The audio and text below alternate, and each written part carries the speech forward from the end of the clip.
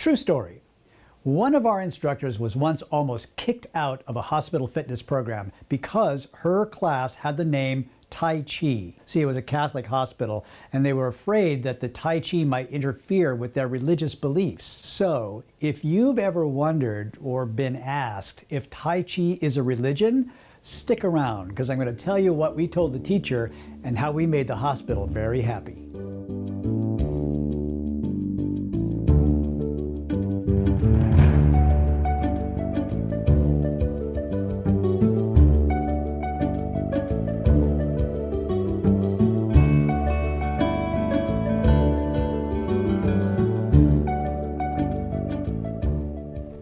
Hi, everybody, it's David Dorian Ross, and welcome to another episode of Learn Tai Chi at Home. Today is day number 51 of 100 Days of Tai Chi, the video series in which you can learn the entire 103 movement Yang style Tai Chi long form. Now, if this is your first time to this channel and you're a beginner who wants to start learning Tai Chi at home, or if you're a more advanced student who wants to just pick up some tips and insights to go along with the lessons you're taking from your teacher, then the best way to get started is to hit the subscribe button. In today's lesson, I'm going to teach you the movement single whip. And yes, I know it's a movement that we've covered before, but today there's a special twist to the movement.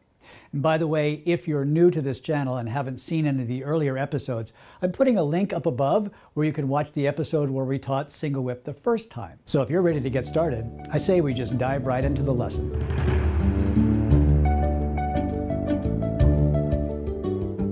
Today's movement is called diagonal single whip. And it's a movement very similar to the other single whips that we've done before, except that the orientation, the direction in which we step out, is a little different. Now, so far we've done single whip a couple of times, and it's all been arranged on this basic lane, this basic travel from left to right or from east to west. Today's movement, however, is going to cut across that lane at a diagonal angle. Let's take a look at it one time, and then we'll come back and break it down together.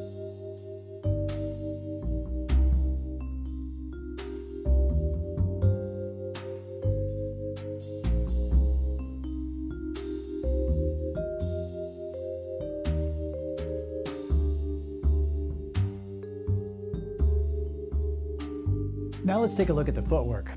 We're going to start from a position where the right toe is pointing straight forward. This would be towards the open the door position. The left foot is at a T-step uh, to start with here, and we're going to see how this T-step is actually going to start off with the foot extended out a little bit. From this weight on the right foot position, the left foot steps forward into the corner to make a bow step. One simple step, that's all it is. Right?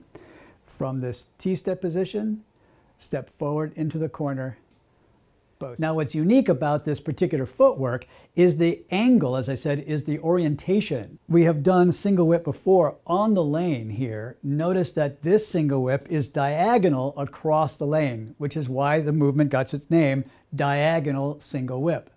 Now here's what the hands are doing much in the same way as the other single whips have done. We're going to start off in a position where the right hand is making a hook and the left hand is ward off arm right by the hook here. The left arm elbow is dropped down here.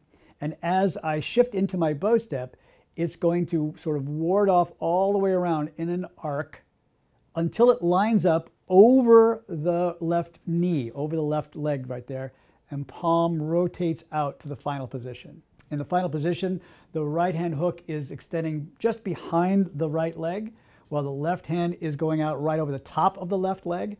And then as you settle into the finish of this position, everything sort of expands. You get a little bit longer, longer through the body.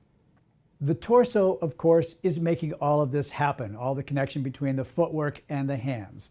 So the torso is going to rotate from right to left, turning, and that's how you get this ward off hand to open, open, open, open, open. But it does not turn all the way. Remember, we don't square off in single whip. We leave part of the hip open. So I'm actually going to finish with my torso, with my waist, pointing towards the open the door position. My palm strike, my single whip hand is pointing into the corner because that's where the leg is situated. And so the leg and the arm, leg and arm are parallel to each other, but my body is opened out away from it. And the hook hand is open to the other corner behind. Let me show you that one more time from a mirror image position.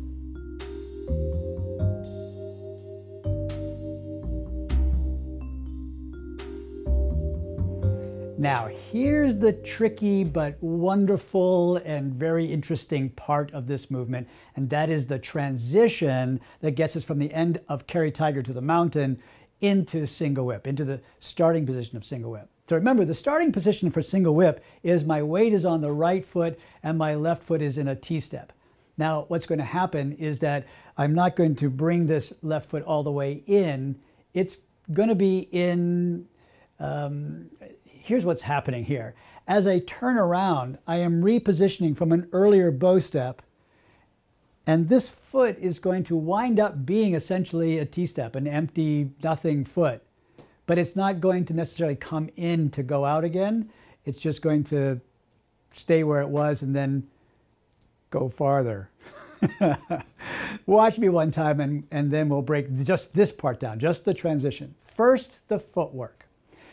I am in a bow step facing into this wide corner, remember, for the end of Carry Tiger to the Mountain.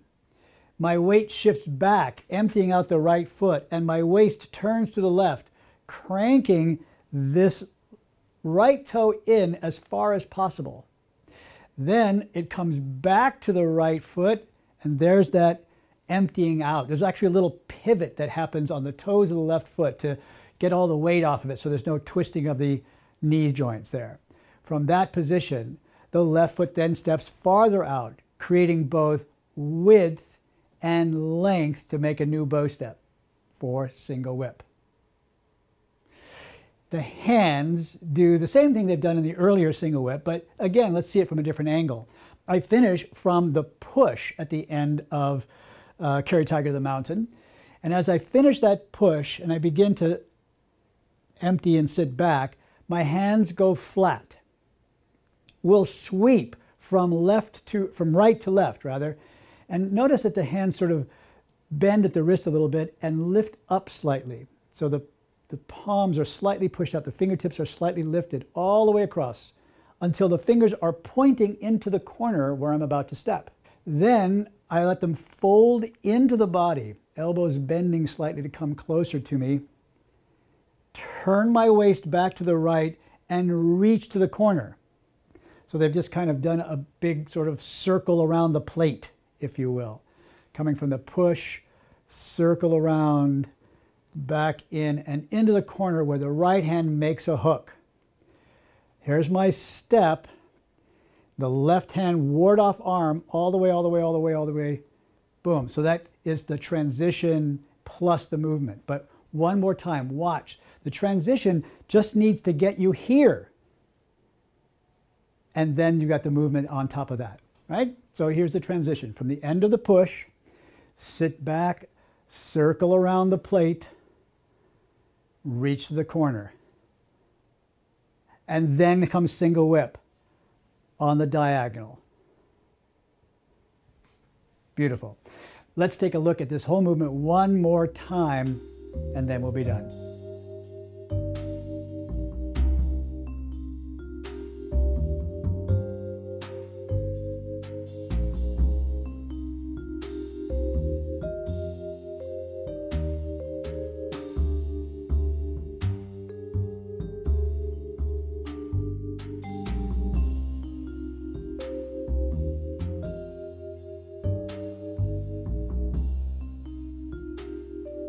Today's viewer question of the day comes from Silent X World, who said, Is Tai Chi a religion? You see, I'm a Christian, and one lady I know told me that it was. Well, Silent X World, thank you very much for that question. This is actually a question I've had asked of me many times over the 40 years that I've been teaching Tai Chi. And it's very similar to the situation that I was telling you about, where one of my teachers was at a Catholic hospital and was teaching a class called TaijiFit.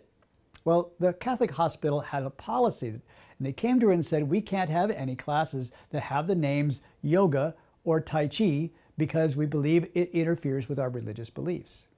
So This is what I told to the teacher and to the hospital.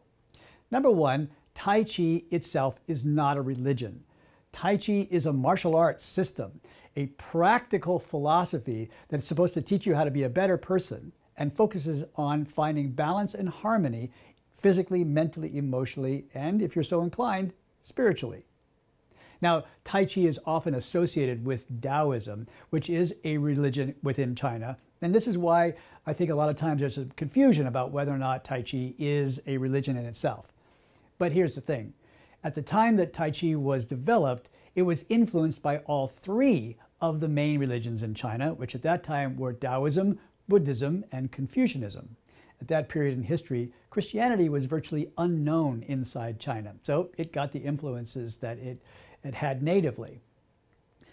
But what Tai Chi wanted to do was rise above the association with any one particular religion and be a philosophy that could be for anybody of any belief.